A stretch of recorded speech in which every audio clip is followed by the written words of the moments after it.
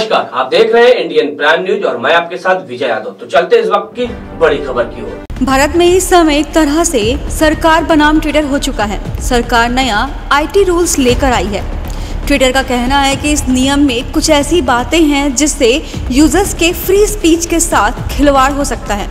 Delhi police ने Twitter के दफ्तर पर छापा मारा। गौरतलब है कि हाल ही में बीजेपी के संबित पात्रा ने कथित टूल किट शेयर किया था।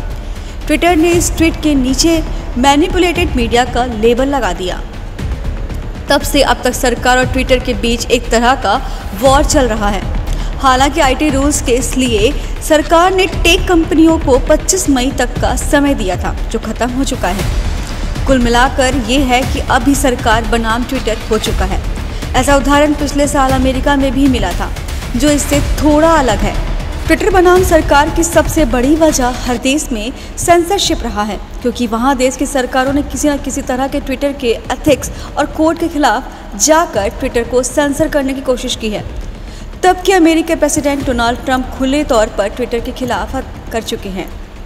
कई बार ट्रंप के ट्विटर और कंपनी के कर्मचारियों को धमकी तक दे चुके हैं।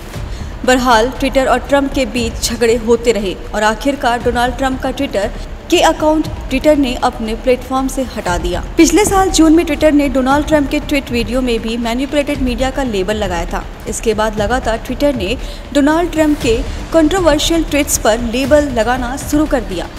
अमेरिका में भले ही वहाँ के तब के प्रेसिडेंट डोनाल्ड ट्रंप के साथ ट्विटर की लड़ाई हुई, लेकिन वहाँ ट्विटर बैन नहीं हुआ, क्योंकि वहाँ का जो कानून है उसे ट्विटर फॉलो करता है। और इसके अलावा ट्विटर अपने बनाए हुए स्टैंडर्ड को हर देश में फॉलो भी करता है। इसमें फ्रीडम ऑफ़ स्पीच को कंपनी काफ़ी आगे रखती है और यही वजह थी कि अमेरिका प्रेसिडेंट तक के ट्वीट को कंपनी ने फेक न्यूज़ का लेबल दे दिया। पूर्व अमेरिकी राष्ट्रपति ट्रंप ने ऐसे कई ट्वीट किए थे जिसमें अपने हिंसक समर्थकों को देशभक्त कहा था। ट्रंप के सैकड़ों हिंसक समर्थक अमेरिकी कांग्रेस के कैपिटल बिल्डिंग में घुस गए थे और जमकर हिंसा किया। इसके बाद पूर्व अमेरिकी राष्ट्रपति ट्रंप के ट्विटर अकाउंट को हमेशा के लिए बैन कर दिया गया।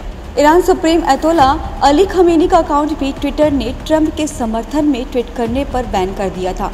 बाद में खबर आई, ये अकाउंट स्पैम फैला रहा था और फेक अकाउंट बनाने के लिए सस्पेंड किया गया। कुछ ऐसे भी देश हैं जहाँ डिजिटल नियमों को सख्त किया जा रहा है, लेकिन कंपनी ने कोई रिस्पांस नहीं दिया है। रसिया, म्यांमार, पोलैंड, टर्की में डिजिटल रूल को सोशल मीडिया कंपनियों के लिए टाइट किया जा रहा है, लेकिन ट्विटर ने इस पर अभी तक कुछ नहीं कहा है।